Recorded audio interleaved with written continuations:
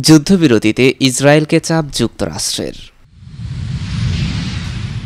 মার্কিন সমর্থন ছাড়াই রাফাতে যাবে ইসরায়েল, ব্লিংকেনকে বলল নেতানিয়াহু। হামাসের বিরুদ্ধে ইসরায়েলে বেশিরভাগ অভিযোগ মিথ্যা। নিষেধাজ্ঞা সত্ত্বেও আলাক্সায় এক লাখ বিশ হাজার মুসল্লির জুমার নামাজ আদায়। পুরো বিশ্ব বিরুদ্ধে গেলেও আমরা রাফাতে আক্রমণ করব বলেছে ইসরায়েলের মন্ত্রী। এতক্ষণ শুনছিলেন সংবাদ শিরোনাম এবার বিস্তারিত। তার আগে আপনারা যদি ফিলিস্তিনি অথবা হামাসের সমর্থক হয়ে থাকেন, তাহলে কমেন্ট বক্সে ফিলিস্তিনি জিন্দাবাদ অথবা হামাস জিন্দাবাদ লিখে কমেন্ট করুন। যুদ্ধবিরতিতে ইসরায়েলকে চাপ যুক্তরাষ্ট্রের। ফিলিস্তিনের গাজায় যুদ্ধবিরতির নতুন প্রচেষ্টার মধ্যেই ইসরায়েল সফর করেছেন যুক্তরাষ্ট্রের পররাষ্ট্রমন্ত্রী অ্যান্টনি ব্লিংকেন। আজ শুক্রবার তিনি ইসরায়েলের প্রধানমন্ত্রী বেনিয়ামিন নেতানিয়াহুর সঙ্গে বৈঠক করেছেন। বৈঠকে গাজায় ত্রাণ সরবরাহ বাড়ানো এবং রাফা অভিযানের বিকল্প নিয়ে আলোচনার কথা জানিয়েছেন ব্লিংকেন। এমন সময় তিনি ইসরায়েল সফর করছেন যখন দুই দেশের সম্পর্কে ক্রমেই টান পড়েন বাড়ছে এদিকে গাজায় অবিলম্বে যুদ্ধবিরতির আহ্বান জানিয়ে জাতিসংঘ নিরাপত্তা পরিষদে যুক্তরাষ্ট্রের আনা একটি প্রস্তাব রাশিয়া ও চীনের ভেটোর কারণে বাতিল হয়ে গেছে। উত্তর গাজার একমাত্র আংশিক সচল হাসপাতাল আল শিফাই অভিযান চালিয়ে কয়েকশো হামাস যোদ্ধাকে হত্যা ও গ্রেপ্তারের কথা জানিয়েছে ইসরায়েলের সেনাবাহিনী। তবে সেখানে যোদ্ধাদের উপস্থিতির বিষয়টি অস্বীকার করেছে হামাস ও স্বাস্থ্যকর্মীরা। গাজায় ইসরায়েলের হামলায় নিহতের সংখ্যা ইতিমধ্যে বত্রিশ হাজার ছাড়িয়ে গেছে। গত সাতই অক্টোবর গাজায় যুদ্ধ শুরু হওয়ার পর ব্লিংকেন এই নিয়ে ষষ্ঠবারের মতো মধ্যপ্রাচ্য সফর করছেন। সর্বশেষ গত বুধবার শুরু হওয়া এই সফরে তিনি দফায় দফায় এই অঞ্চলের গুরুত্বপূর্ণ দেশগুলোতে কূটনৈতিক তৎপরতা চালিয়ে যাচ্ছেন। সফরের প্রথম দিন ব্লিংকেন সৌদি আরবে যান। তিনি সেখানে দেশটির অঘোষিত শাসক যুবরাজ মোহাম্মদ বিন সালমানের সঙ্গে বৈঠক করেন। বৈঠক শেষে ব্লিংকেন বলেন, গাজায় যুদ্ধবিরতি নিয়ে ইসরায়েল ও হামাসের দাবি দেওয়ার ব্যবধান কমে এসেছে। ইসরায়েলের সঙ্গে সৌদি আরবের সম্পর্ক স্বাভাবিক করা নিয়েও ভালো অগ্রগতি হয়েছে। পরদিন বৃহস্পতিবার মিশরের রাজধানী কাহিরোই আরব দেশগুলোর পররাষ্ট্রমন্ত্রীদের সঙ্গে বৈঠক করেন শীর্ষ এই মার্কিন কূটনীতিক। পরে তিনি বলেন, গাজায় টেকসই যুদ্ধবিরতির বিষয়ে মতৈক্য হয়েছে। ইসরায়েল ফিলিস্তিনি সংঘাত অবসানে দুই রাষ্ট্রভিত্তিক সমাধানের বিষয়ে যুক্তরাষ্ট্রের অবস্থানও পুনর্ব্যক্ত করেন তিনি। এদিকে মার্কিন সমর্থন ছাড়াই রাফাতে যাবে ইসরায়েল। ব্লিংকেনকে বলল নেতানিয়াহু। ইসরায়েলি প্রধানমন্ত্রী বেনিয়ামিন নেতানিয়াহু বলেছেন, গাজা উপত্যকার দক্ষিণ অঞ্চলীয় শহর রাফাতে সেনা পাঠাতে অটল রয়েছে ইসরায়েল। প্রয়োজনে যুক্তরাষ্ট্রের সমর্থন ছাড়াই এই পথে হাঁটবেন তিনি। শুক্রবার মার্কিন পররাষ্ট্রমন্ত্রী অ্যান্টনি ব্লিংকেনকে এই কথা জানিয়েছেন তিনি। ব্রিটিশ সংবাদ সংস্থা রয়টার্স এই খবর জানিয়েছে। এক বিবৃতিতে নেতানিয়াহু বলেছেন, অ্যান্টনি ব্লিংকেনের সঙ্গে তিনি বৈঠক করেছেন। ব্লিংকেনকে তিনি বলেছেন, রাফাতে যাওয়া ছাড়া হামাস হামাসকে পরাজিত করার উপায় নেই। তিনি আরও বলেছেন, আমি তাকে বলেছি যে আমি আশা করি যুক্তরাষ্ট্রের সমর্থনে এই কাজ করব আমরা। কিন্তু যদি প্রয়োজন হয় তাহলে আমরা একাই করব। মার্কিন পররাষ্ট্র মন্ত্রণালয় বলেছে, নেতানিয়াহুর সঙ্গে বৈঠকে গাজায় বেসামরিকদের সুরক্ষা দেওয়ার প্রয়োজনীয়তার বিষয়ে গুরুত্ব আরোপ করেছেন ব্লিংকেন। স্থল ও সাগর পথে গাজায় মানবিক ত্রাণ সরবরাহের নিশ্চয়তা প্রয়োজনের কথা গুরুত্বের সঙ্গে তুলে ধরেছেন তিনি। তেল আবিবে বিমানবন্দরে সাংবাদিকদের ব্লিংকেন বলেছেন, তিনি ইসরায়েলের নেতাদের বলেছেন যে রাফাতে হামলা কার্যকর হবে না। এদিকে হামাসের বিরুদ্ধে ইসরায়েলের বেশিরভাগ অভিযোগ মিথ্যা, গত বছরের সাতই অক্টোবর। ফিলিস্তিনি সংগঠন হামাসের ইসরায়েলে অনুপ্রবেশের পর হামলার ঘটনাগুলো ফরেন্সিক বিশ্লেষণ করেছে আল জাজিরা ইনভেস্টিগেট ইউনিট। ওই দিন হামাস যোদ্ধারা রকেট হামলা চালায় এবং ইসরায়েলে ঢুকে বেশ কিছু এলাকায় হামলা চালায়। হামলায় বেশ কয়েকজন নিহত হওয়ার পাশাপাশি ইসরায়েল সহ বেশ কিছু দেশের শতাধিক নাগরিককে অপহরণের পর জিম্মিও করে হামাস। ওই ঘটনাকে কেন্দ্র করে মানবাধিকার লঙ্ঘন সহ অসংখ্য অভিযোগ আনা হয় হামাসের বিরুদ্ধে। কিন্তু আই ইউনিটের অনুসন্ধানে দেখা গেছে, এই অভিযোগের অনেকগুলোই মিথ্যা। সেদিনের সিসিটিভি ফুটেজ, ড্যাশক্যাম ব্যক্তিগত ফোন ও নিহত হামাস যোদ্ধাদের হেড ক্যামের ফুটেজ পরীক্ষা করে এই সিদ্ধান্তে পৌঁছেছে আই ইউনিট। আই ইউনিট তাদের অনুসন্ধানের পর একটি ভিডিও প্রতিবেদনে সাতই অক্টোবরের মধ্যে প্রকাশ করেছে। বৃহস্পতিবার আল জাজিরাও প্রতিবেদনটি প্রকাশ করে। সে সময় ইসরায়েল কর্তৃপক্ষ দাবি করেছিল, হামাস সেদিন ইসরায়েলে গণহত্যা চালিয়েছে এবং তারা শিশুদের শিশুদের পর্যন্ত শিরোচ্ছেদ করেছে। সেই সঙ্গে ধর্ষণের অভিযোগ আনা হয়েছিল হামাসের বিরুদ্ধে। শুধু ইসরায়েল নয়, পশ্চিমা বিশ্বের অনেক নেতারাও এমন অভিযোগের পক্ষে সাফাই গিয়ে পরবর্তী সময়ে গাজায় ইসরায়েলি হামলাকে সমর্থন দিয়ে যায়, যার ফলে সাতই অক্টোবরের পর থেকে এখন পর্যন্ত প্রায় বত্রিশ হাজার ফিলিস্তিনি নিহত হয়েছে। ইসরায়েলি সেনাবাহিনী দাবি করেছিল, সাতই অক্টোবর কিবুতুস বেরির একটি বাড়িতে আট শিশুর দগ্ধ মরদেহ পাওয়া গেছে, কিন্তু প্রাপ্ত সব তথ্য পুঙ্খানুপুঙ্খ বিশ্লেষণের পর আই ইউনিট মনে করেছে ওই দাবি মিথ্যা। আই ইউনিটের বিশ্লেষণে দেখা গেছে, ওই বাড়িতে সেদিন কোনো শিশু ছিল না, বরং ওই বাড়িতে থাকা বারো জন প্রায় নিশ্চিতভাবেই ইসরায়েলি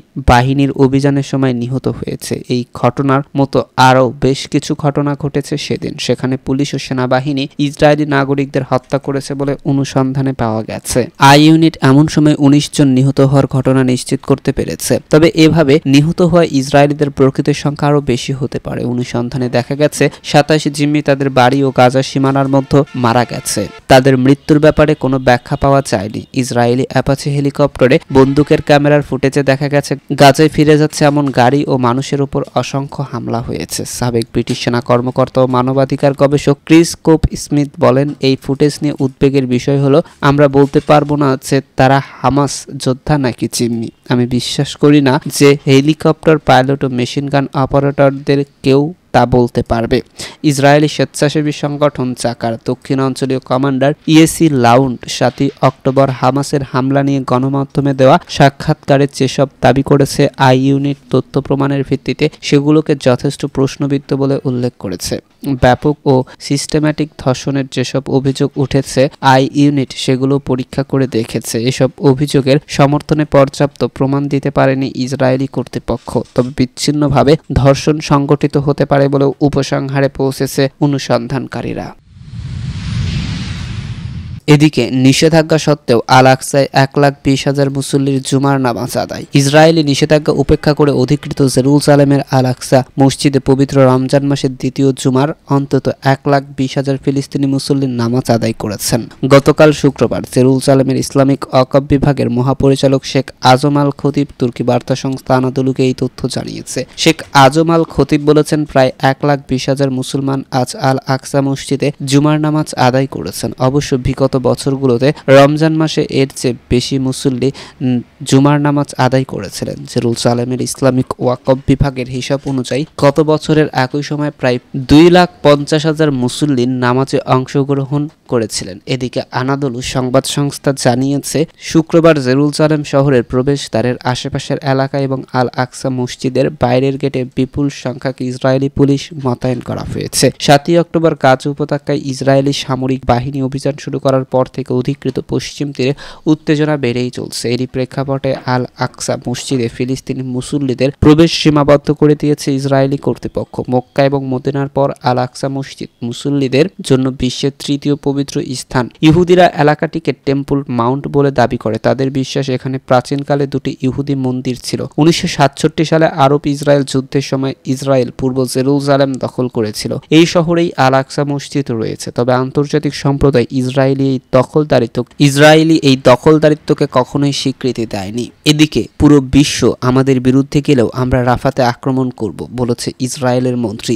যুক্তরাষ্ট্র সহ পুরো বিশ্ব ইসরায়েলের বিরুদ্ধে গেলেও আমরা ফিলিস্তিনের দক্ষিণ গাজার শহর রাফা আক্রমণ করব এবং হামাসকে পরাজিত করব, ইসরায়েলের কৌশলগত বিষয়ক মন্ত্রী রন ডারমার সম্প্রতি এক বিবৃতিতে এই মন্তব্য করেছেন, খবর মিডল ইস্ট মনিটরের। রন ডারমারের বরাদ দিয়ে মার্কিন একটি অনলাইনের খবরে বলা হয়েছে, আমরা রাফাতে প্রবেশ করতে যাচ্ছি এবং এই কাজটি সম্পূর্ণরূপে সমাপ্ত করতে যাচ্ছি যাতে কেউ বলতে না পারে। সাতই অক্টোবরের ঘটনায় হামাস ইহুদিদের অস্তিত্ব ধরে টান দিয়েছিল। যুক্তরাষ্ট্র শুরু থেকে এই রাফাতে ইসরায়েলি হামলার বিরোধিতা করে আসছে। তারা আশঙ্কা করছে ইসরায়েলের এই অভিযানে প্রচুর ফিলিস্তিনের প্রাণহানি ঘটতে পারে। একই সঙ্গে সেটি ফিলিস্তিনে দুর্ভিক্ষ ও রোগ ছড়ানোর প্রধান কারণ হিসেবে বিবেচিত হবে। বিষয়টি নিয়ে আলোচনা করতে আগামী সপ্তাহে শুরুতে ইসরায়েলের প্রধানমন্ত্রীর ঘনিষ্ঠ হিসেবে পরিচিত রন ডারমার ওয়াশিংটন যাবেন বলে ধারণা করা হচ্ছে, তিনি বাইডেন প্রশাসনের সঙ্গে রাফা হামলার বিষয়টি নিয়ে আলোচনা করতে পারেন। এ বিষয়ে ইসরায়েলের প্রধানমন্ত্রী বেনিয়ামিন নেতানিয়াহু বলেছেন, ইসরায়েল রাফায় অভিযান চালাবে, তা যুক্তরাষ্ট্রকে জানিয়ে দিয়েছে। আমরা আশা করছি এতে বাইডেন প্রশাসনের সমর্থন থাকবে, কিন্তু যদি প্রয়োজন হয়, আমরা একাই এই অভিযান চালাবো। এদিকে গাজায় যুদ্ধবিরতির আহ্বান জানিয়ে যুক্তরাষ্ট্রের আনা প্রস্তাবে রাশিয়া ও চীন ভেটো দিয়েছে। নিরাপত্তা পরিষদের পনেরো সদস্যের মধ্যে এগারো সদস্য প্রস্তাবের পক্ষে ভোট দিয়েছিল। রাশিয়া ও চীনের সঙ্গে বিপক্ষে ভোট দিয়েছে আলজেরিয়াও। গায়ানা ভোটদানে বিরত ছিল। এর আগে যুদ্ধবিরতির আহ্বান জানিয়ে অন্য দেশগুলোর আনা প্রস্তাবে ভেটো দিয়েছিল যুক্তরাষ্ট্র। এই বিষয়ে জাতিসংঘে নিযুক্ত রাশিয়ার রাষ্ট্রদূত ভ্যাসিলি নেভিনজিয়া মন্তব্য করেছেন। যুক্তরাষ্ট্রের দেওয়া প্রস্তাবে ইসরায়েলকে আসলে রাফায় সামরিক অভিযান চালানোর ব্যাপারে কার্যকর সবুজ সংকেত দেওয়া হয়েছে। উত্থাপিত প্রস্তাবকে অতিমাত্রায় রাজনীতিকরণ করা হয়েছে বলে অভিযোগ করে তিনি বলেন, এই প্রস্তাব প্রকৃতপক্ষে ইসরায়েলের দায় মুক্তি নিশ্চিত করবে। এদিকে গাজায় দিনে মারা যাচ্ছে সাঁত্রিশ জন মা। পশ্চিম তীরের আটশো হেক্টর জমি নিজ ভূখণ্ডভুক্ত করল ইসরায়েল। কয়েক দশকের মধ্যে ইসরায়েলি ইসরায়েলি প্রশাসনের দখলদারির অন্যতম বড় নজির এটি। ফিলিস্তিনিরা এই দখলদারির নিন্দা জানিয়েছে। এর মধ্যে যুক্তরাষ্ট্রের মুসলিম জনগোষ্ঠীও প্রেসিডেন্ট জো বাইডেনের প্রশাসনে এর বিরুদ্ধে চূড়ান্ত ক্ষোভ প্রকাশ করেছে। তারা হোয়াইট হাউসে ঈদ অনুষ্ঠানে না যাওয়ার ঘোষণা দিয়েছে। যুক্তরাষ্ট্র ও ইসরায়েলি প্রশাসনের প্রতি মনোভাবের কারণ ধীরে ধীরে গাজার মানুষের মানবিক সংকট সংকট কঠিন থেকে কঠিনতার পর্যায়ে চলে যাচ্ছে। সম্প্রতি ইসরায়েল জানায়, পশ্চিম তীরের আটশো হেক্টর জমিকে তারা তাদের ভূখণ্ডের সঙ্গে অন্তর্ভুক্ত করে নিচ্ছে। মার্কিন পররাষ্ট্রমন্ত্রী অ্যান্টনি ব্লিংকেন ইসরায়েলে থাকাকালে এই ঘোষণা দিল ইসরায়েল। দেশটির অর্থমন্ত্রী বেজালেল ইসরোমিস জানান, এখন থেকে উত্তর জর্ডান উপত্যকার বিশাল এলাকা ইসরায়েলের রাষ্ট্রীয় ভূখণ্ড। এর প্রতিক্রিয়ায় ফিলিস্তিনের পররাষ্ট্র মন্ত্রণালয় জানায়, ইসরায়েল এই পদক্ষেপ আমাদের ভূমি থেকে আমাদের জনগণকে নির্মূলকরণ এবং বাস্তুচ্যুতকরণের ধারাবাহিকতারই প্রমাণ। এদিকে চলতি বছর হোয়াইট হাউসে মার্কিন প্রেসিডেন্ট জো বাইডেনের ঈদ উদযাপনে যাবেন না বলে জানিয়েছে মুসলিমরা। রমজান ও ঈদ উদযাপন অনুষ্ঠান বর্জনের ঘোষণা দিয়েছে যুক্তরাষ্ট্রের মুসলিম দলগুলো। ইসরায়েলের প্রতি প্রেসিডেন্ট জো বাইডেনের সমর্থনে ক্ষুব্ধ আমেরিকান মুসলিমরা বলেছেন, তারা প্রশাসনের কাছে গাজে অবিলম্বে যুদ্ধবিরতির জন্য চাপ দেওয়ার দাবি অব্যাহত রেখেছেন। Council on American Islamic relation CIR এর গভর্নমেন্ট অ্যাফেয়ার্স ডিপার্টমেন্টের পরিচালক রবার্ট ম্যাককাও বলেছেন, আমন্ত্রণ এলে আমেরিকান মুসলিম কমিউনিটির নেতারা এই সংগঠনগুলো তা প্রত্যাখ্যান করবে। হোয়াইট হাউসে রমজানের অনুষ্ঠান পিছিয়ে দেওয়ার কথা বিবেচনা করছে বলে গণমাধ্যমের প্রকাশিত খবরে প্রেস সেক্রেটারি ক্যারেন জ্যাপিয়ার বলেছেন, পবিত্র মাস সম্পর্কিত কোনো উদযাপনের ঘোষণা দেয়া হয়নি। গত সোমবার গণমাধ্যমকে তিনি তার সংবাদ বিজ্ঞপ্তিতে বলেন, আমরা বুঝতে পারছি যে বেশ কয়েকটি সম্প্রদায়ের জন্য এটি একটি বেদনাদায়ক সময়। প্রেসিডেন্ট জো বাইডেন এক বিবৃতিতে বলেন, চলতি রমজানে ফিলিস্তিনি জনগণের দুর্ভোগ অনেক মুসলমানের মনেই গেঁথে থাকবে, আমার মনেও গেঁথে আছে। অন্যদিকে গত বৃহস্পতিবার ফিলিস্তিনি রেড ক্রিসেন্ট সোসাইটি জানিয়েছে গাজায় প্রতিদিন সাঁত্রিশ জন মা প্রাণ হারাচ্ছে। আরব বিশ্ব একুশে মার্চ তাদের বিশ্ব মা দিবস পালন করে। ওই দিন পরিসংখ্যান তুলে ধরা হয়েছে। মা দিবসে the Commission of Detainees and ex detainees affairs in Palestine Liberation Organization এবং প্যালেস্টাইন প্রিজনার্স ক্লাব অ্যাসোসিয়েশন যৌথ বিবৃতিতে বলা হয়েছে, গাজায় চলমান ইসরায়েলি হামলায় প্রতিদিন অনেক মা ও শিশু প্রাণ হারাচ্ছে। গত অক্টোবরে ফিলিস্তিনি স্বাধীনতাকামী গোষ্ঠী হামাসের বিরুদ্ধে সর্বাত্মক মারাত্মক সংঘাত শুরু হওয়ার পর থেকে ইসরায়েলি সামরিক বাহিনী গাজা উপত্যকায় নারীদের গ্রেপ্তার করেছে। দুই হাজার তেইশ সালের সাতই অক্টোবরের পর থেকে মাসো ফিলিস্তিনি নারী বন্দীদের ওপর ইসরায়েলের অপরাধ লঙ্ঘন নাটকীয়ভাবে বেড়ে গেছে। এদিকে এক লাখ সেনা প্রস্তুত করছে রাশিয়া, দাবি ইউক্রেনের। চলতি বছরের গ্রীষ্মকালে সম্ভাব্য নতুন আক্রমণ বা ক্ষতিগ্রস্ত ইউনিটগুলোর শক্তি বৃদ্ধির জন্য রাশিয়া এক লাখ সেনা প্রস্তুত করেছে। শুক্রবার ইউক্রেনের পদাতিক বাহিনীর commander lieutenant general Alexander Pavliuk এই মন্তব্য করেছেন। ব্রিটিশ বার্তা সংস্থা রয়টার্স এই খবর জানিয়েছে। আলেকজান্ডার পাবলিউক বলেন, রাশিয়া এক লাখ সেনা প্রস্তুত করেছে, যাতে চলতি গ্রীষ্মে নতুন আক্রমণে ব্যবহার করা যাবে কিংবা ক্ষয়হিংসু ইউনিটগুলোতে মোতায়েন করতে পারবে। ইউক্রেনীয় টেলিভিশনে প্রচারিত বক্তব্যে তিনি বলেছেন, নতুন আক্রমণ হবেই তা নয়, হয়তো যুদ্ধে ক্ষতিগ্রস্ত ইউনিটগুলোর শক্তি বাড়ানোর জন্য মোতায়েন করা হতে পারে। কিন্তু গ্রীষ্মকালে তারা নতুন আক্রমণ শুরু করতে পারে, আশঙ্কা রয়েছে। ইউক্রেন যুদ্ধ নিয়ে রাশিয়া নিজের অবস্থান আরও কঠোর করেছে। এতদিন পর্যন্ত যুদ্ধ না বলে বিশেষ সামরিক অভিযান বলে আসছিল দেশটি। কিন্তু শুক্রবার ক্রেমলিন বলেছে, তারা এখন নিজেদের যুদ্ধে লিপ্ত বলে মনে করে। তাদের দাবি, পশ্চিমারা ইউক্রেনের পক্ষ নিয়ে হস্তক্ষেপ করেছে। চলতি সপ্তাহে রাশিয়ার প্রতিরক্ষা মন্ত্রণালয় বলেছিল, দুটি নতুন বাহিনী এবং তিরিশটি নতুন ইউনিট গঠনের মাধ্যমে সেনাবাহিনীকে আরও শক্তিশালী করা হবে। মার্কিন কংগ্রেস নতুন সহযোগিতা বিল নিয়ে অচল অবস্থার কারণে গোলাবারুদের ঘাটতি রয়েছে কিয়েভ। ইউক্রেন প্রত্যাশা করেছে এপ্রিলের মধ্যে পর্যাপ্ত গোলাবারুদ পেতে পারে দেশটি। চেক রিপাবলিকের নেতৃত্বে কামানের গোলা সরবরাহের উদ্যোগে এমন প্রত্যাশা করতে পারছে ইউক্রেন। ইউক্রেনের উপপ্রতিরক্ষামন্ত্রী ইভান হাভরিউলিউক বলেছেন, ইউক্রেনের চেয়ে রাশিয়ার অস্ত্র অনেক বেশি। অনুপাতে তা সাতের বিপরীতে এক। এদিকে ভয়াবহতম রুশ হামলায় দশ লক্ষাধিক ইউক্রেনীয় বিদ্যুৎহীন। ইউক্রেনের জ্বালানি অবকাঠামোয় ভয়াবহতম হামলা চালিয়েছে রাশিয়া। বলা হচ্ছে, দুই হাজার বাইশ সালের ফেব্রুয়ারির পর এটি জ্বালানি সুবিধায় সবচেয়ে বড় হামলা। ইউক্রেনের বিভিন্ন জায়গায়, ইউক্রেনের বিভিন্ন জায়গায় রাশিয়ার লাগাতার ক্ষেপণাস্ত্র হামলার কারণে দশ লক্ষাধিক মানুষ বিদ্যুৎহীন হয়ে বিদ্যুৎহীন রয়েছে। গতকাল শুক্রবার ইউক্রেন জানায় জাপুরিচিয়া অঞ্চলে ইউক্রেনের বৃহত্তম বাঁধ দিনিপার জলবিদ্যুৎ কেন্দ্রে আঘাত এনেছে রাশিয়া। রাশিয়া। ব্রিটিশ গণমাধ্যম দ্য গার্ডিয়ানের এক প্রতিবেদনে বলা হয়েছে, রাশিয়ার ক্ষেপণাস্ত্র ও ড্রোন হামলার কারণে সারা ইউক্রেনের দশ লক্ষাধিক মানুষ বিদ্যুৎ সুবিধার বাইরে রয়েছে। ইউক্রেনের বিমান বাহিনী বলছে, রাশিয়া অষ্টাশিটি ক্ষেপণাস্ত্র ছুড়েছে এবং ইরানের তৈরি তেষট্টিটি ড্রোন নিক্ষেপ করেছে। এর মধ্যে সাঁত্রিশটি ক্ষেপণাস্ত্র ও পঞ্চান্নটি ড্রোন ভূপাতিত করা হয়েছে। কিন্তু বাকিগুলোর আঘাতে ইউক্রেন জুড়ে নিহত হয়েছে পাঁচজন সেই সঙ্গে জ্বালানি খাতে বড়সড় ক্ষতি করেছে। ইউক্রেনের বাদ প্রকল্পগুলোর নিয়ন্ত্রক সংস্থা নার্গো বলেছে দিনিপার জলবিদ্যুৎ কেন্দ্রটিতে আগুন চলছে জরুরি বিভাগগুলো ও বিদ্যুৎ বিদ্যুৎ কর্মীরা ঘটনাস্থলেই রয়েছে। জাপুরিচার প্রশাসন জানিয়েছে, তাদের শহরে আটটি ক্ষেপণাস্ত্রের আঘাত এনেছে এবং স্থানীয় কিছু বাসিন্দা আহত হয়েছে।